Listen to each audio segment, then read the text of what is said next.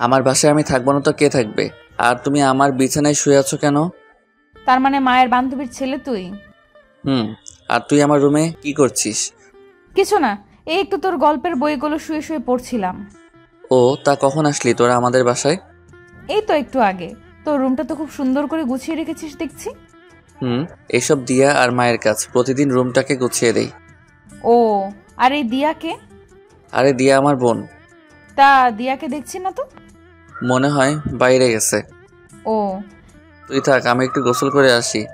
এই বলে আমি বাথরুমে গেলাম। শাওয়ার নিয়ে যখন কাপড় চেঞ্জ করব তখন মনে পড়ল আমি তো বাথরুমে আসার সময় কোনো কাপড় নিয়ে আসিনি। এখন কি হবে? কোনো উপায় না পেয়ে মায়াকে ডাক দিলাম। মনে হয় রুমেই আসছিল তাই আমার ডাকে সাড়া দিল আর জিজ্ঞাসা করল কি হয়েছে? ডাকছিস কেন বাইরে থেকে?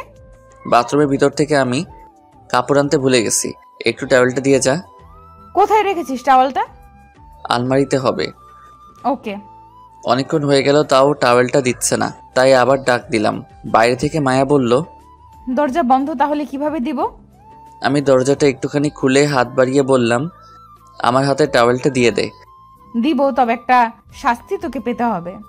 কিসের শাস্তি? আর আমি তো কোনো চুরি ডাকাতি করেছি নাকি? যে শাস্তি পেতে হবে। কি জন্য মানে? সেদিন আমাকে কিস করার জন্য। তার জন্য তো আমি তোর কাছে ক্ষমা চাইছি। তাহলে আবার শাস্তি কেন? আমার ইচ্ছা। ঠিক আছে যা শাস্তি দিবি মেনে নিব। এখন দয়া করে টাওয়েলটা দে। এই কথা বলাতে মায়া আমার হাতে টাওয়েলটা দিয়ে দিল। টাওয়েলটা নিয়ে মাথা শরীরের পানি মুছে টাওয়েলটা কোমরে পেঁচিয়ে বের হলাম। বের হয়ে দেখি মায়া রুমে নেই। তাই তাড়াতাড়ি রুমের দরজা বন্ধ করে আলমারি থেকে শার্ট প্যান্ট বের করে পরে নিলাম। তারপর একটু চিরুনি দিয়ে চুল আঁচড়াচ্ছি। তখন দরজায় টোকা দিল। আমি জিজ্ঞাসা করলাম কে? আমি মায়া। একটু দাঁড়া দরজাটা খুলছি। আমি দরজাটা খুলে দিয়ে বিছানায় এসে বসে হাতে ফোনটা নিয়ে একটু ফেসবুকে ঢুকলাম। একটু ফেসবুকিং করছি। তখন মায়া এসে আমার পাশে বসল আর বলল শাস্তির কথা ভুলে গেছিস? তো আমি তো ভুলেই গেছিলাম। কি শাস্তি? শাস্তিটা হলো আমাকে আরও একবার কিস করতে হবে। এসব কি বলছিস? আর দরজা বন্ধ করলি কেন?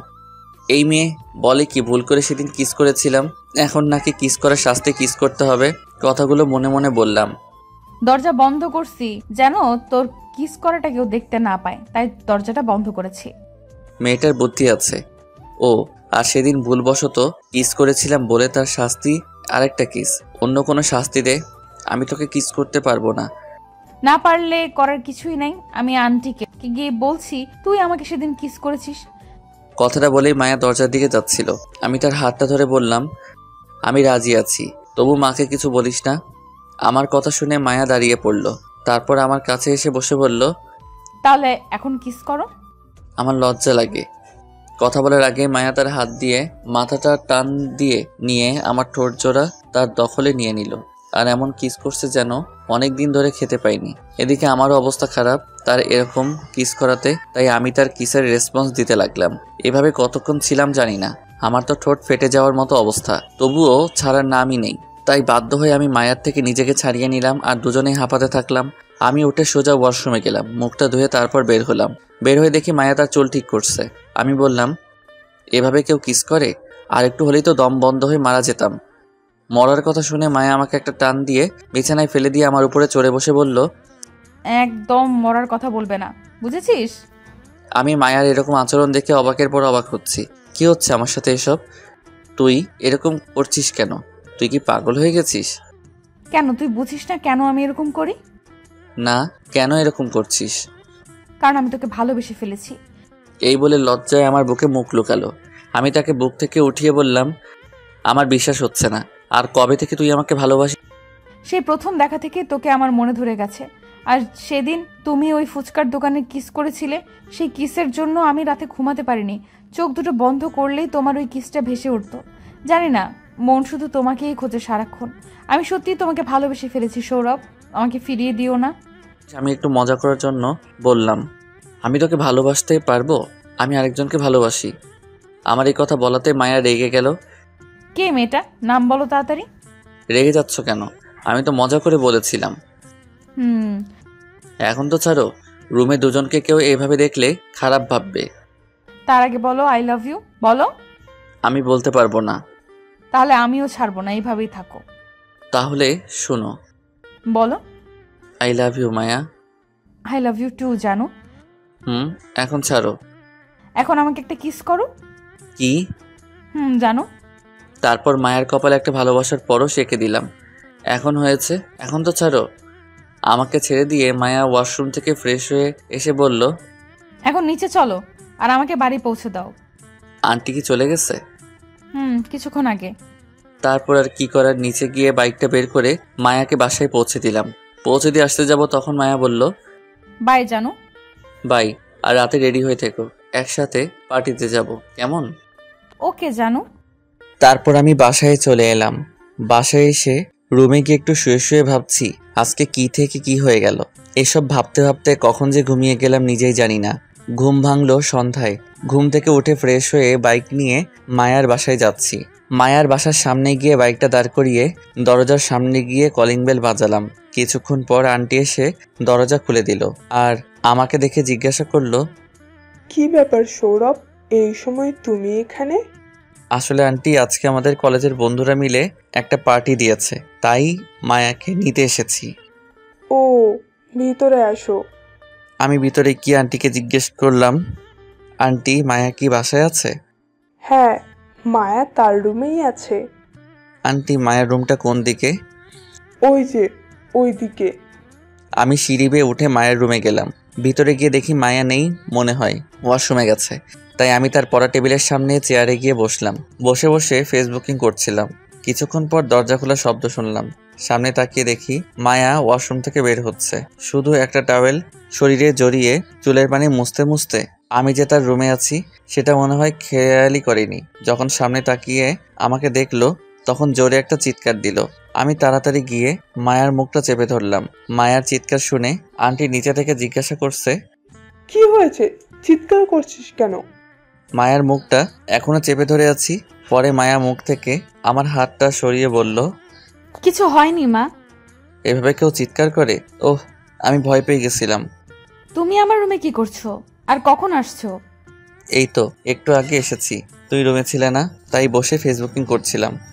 ও। এসব এখনও কি পড়ে আছো? যাও গিয়ে পাল্টে এসো। কেন ভালো লাগে না বুঝি? এই তুমি আমার দিকে এভাবে এগোচ্ছ কেন? তখন আমি বিছানায় বসেছিলাম। আমি বিছানার এক পাশে পিছাচ্ছি। কেন এখন রোম্যান্স করব? এখন এসব হবে না। তাছাড়াও দরজা খোলা কেউ দেখলে সমস্যা হয়ে যাবে। কেউ দেখবে না। এই সময় কেউ আমার রুমে আসবে না। আমার দিকে এগোতে থাকে আর আমি পিছাতে। একসময় মায়া আমার দু পা টান দিয়ে আমাকে বিছানায় শুয়ে দেয়। তারপর আমার বুকের উপর এসে জড়িয়ে ধরে। গালে গলায় ইচ্ছে মতো কিস করতে থাকে। আমি যত ছাড়ানোর চেষ্টা করছি তত জোরে জোরে কিস করতে থাকে। একসময় আমি আর না পেরে তার পিঠ খামচে ধরলাম। এভাবে কিছুক্ষণ চলার পর আমার ঠোঁট জোড়া তার মিষ্টি গোলাপি ঠোঁটের দখলে নিয়ে নিল। আমার চুলগুলো খামচে ধরে এমনভাবে ঠোঁট জোড়া কিস করছে, আমার তো প্রাণ যায় যায় অবস্থা। এভাবে পাঁচ মিনিট চলার পর মায়া ছেড়ে দিয়ে আমার বুকের উপর শুয়ে পড়ল আর জোরে জোরে শ্বাস নিতে লাগল। এদিকে আমারও একই দশা। কিছুক্ষণ আমার বুকের উপর শুয়ে থেকে মায়া বলল, এইভাবে সারা জীবন তোমার বুকে মাথা রেখে থাকতে দেবে গো। অবশ্যই দেব। তার আগে এখন উঠো দেখি। আর একটু থাকি না। এইভাবে থাকতে আমার খুব ভালো লাগছে। এখন তাড়াতাড়ি উঠো রেডি হও। আমাদের পার্টিতে যেতে হবে তো। হুম। এই বলে মায়া আমার বুক থেকে মাথা তুলে বিছানায় বসল। আমিও উঠে তার পাশে বসে তাকে বললাম যাও রেডি হয়ে এসো। আমাদের এমনিতেই দেরি হয়ে যাচ্ছে। মায়া উঠে আলমারির কাছে গিয়ে আলমারি দরজা খুলে ভিতরে যা যা ড্রেস আছে সবগুলো আমার সামনে এনে বলল জানো কোন ড্রেসটা আমাকে মানাবে বলো? দেখি থ্রি পিস আর আজকালের ডিজিটাল পোশাক তা দেখে আমি মায়াকে জিজ্ঞেস করলাম মায়া এসব ড্রেস ছাড়া কি অন্য কোনো ড্রেস নেই? এইসব ড্রেস তোমার পছন্দ হয়নি? হয়েছে বাট তোমাকে শাড়ি পরলে বেশি মানাবে। তাহলে বলো কি রঙের শাড়ি তোমার পছন্দ? কালো। কিন্তু আমি তো শাড়ি পরতে পারি না। ও। তুমি পরিয়ে দাও না গো। আমি? তা নয় তো কি আমি ওকে শাড়িটা দাও। তারপর মায়া আলমারি থেকে একটা নতুন কালো রঙের শাড়ি বের করে দিল। আমি আর কিছু না বলে তাড়াতাড়ি শাড়ির কুচিটা গুজে দিলাম। কুচিটা গুজে দেওয়ার সময় আমার হাতটা তার পেটে লেগে যায় আর মায়া একটু শিহরিত অনুভব করে। তারপর আমি মায়াকে বলি শাড়ি পরানো শেষ এখন চলো। মায়া আমাকে থামিয়ে দিয়ে আলমারি থেকে একটা কালো রঙের শার্ট বের করে আমার দিকে দিয়ে বলে এটা পরে নাও। আমার তো শার্ট আছে। আমাকে কালো শাড়ি পরতে বলে এখন কালো শার্ট পরতে চাচ্ছ না। আমি কখন বললাম শার্টটা পরবো না? তাহলে এটা পরছো না কেন? দাও আমি ওয়াশরুম থেকে পরে আসছি। তার থেকে হাতে শার্টটা নিয়ে যে ওয়াশরুমের দিকে যাব তখন মায়া হাতটা ধরে বলল ওয়াশরুম যেতে হবে না। আমার সামনেই শার্ট চেঞ্জ করো। তাহলে তুমি ওই দিকে ঘুরো। আমার সামনে শার্ট পাল্টাতে কি সমস্যা তোমার? কোনো মেয়ের সামনে শার্ট খুলতে আমার লজ্জা লাগে। শার্ট কেন? বিয়ে করলে তো সবই খুলতে হবে। কিছু বললে? কিছু না। তারপরে শার্ট চেঞ্জ করে মায়াকে ঘুরতে বললাম। মায়া ঘুরে আমাকে দেখে টাসকি খায় আর মনে মনে ভাবে কালো শার্ট সৌরভকে আমার মনের রাজ্যের রাজকুমার লাগছে। আমার দিকে এভাবে তাকিয়ে থাকতে দেখে মায়াকে জিজ্ঞেস করলাম কিছু দেখছ এমন করে? আমার রাজকুমারকে? কি বলছো এসব? কই কিছু না তো। হুম এখন যাওয়া যাক। তারপরে নিচে এসে আন্টির কাছ থেকে বিদায় নিয়ে বাসার বাইরে এসে মায়াকে বললাম নীলাও কি যাবে আমাদের সাথে? তাকে বলে দিয়েছি যেন আগে চলে যায়। ও তারপর বাইকে উঠে মায়া আমাকে শক্ত করে জড়িয়ে ধরলো। পরে চললাম পার্টিতে। অবশেষে সেখানে গিয়ে পৌঁছালাম। বাইক থেকে নেমে বাইকটা পার্ক করে ভিতরে গেলাম দুজনে। ভিতরে গিয়ে দেখি সবাই চলে এসেছে। আমি মায়াকে বললাম চলো আসিফের সাথে দেখা করে আসি। আসিবের কাছে গেলাম মায়া আমার একটা হাত জড়িয়ে ধরেই আছে। গিয়ে দেখি আসিফ আর নীলা একটা টেবিলে হাত দিয়ে একে অপরের দিকে এক পানে চেয়ে বসে আছে। আমি টেবিলের উপর হাত দিয়ে একটা থাপ্পড় দিলাম। টেবিলে থাপ্পড় দেওয়া দেখে আসিফ আর নীলা চমকে উঠল। আসিফ এদিক ওদিক তাকিয়ে আমাকে দেখে জিজ্ঞাসা করল, এরপর কি হয়েছে জানতে চাইলে সাবস্ক্রাইব করে পাশে রাখা বেল বাজিয়ে রাখুন।